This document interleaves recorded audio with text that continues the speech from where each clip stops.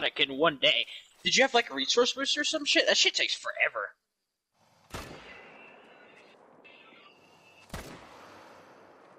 Evolving Prime took me like a day or two to grind out all the shit for it. it fucking sucks.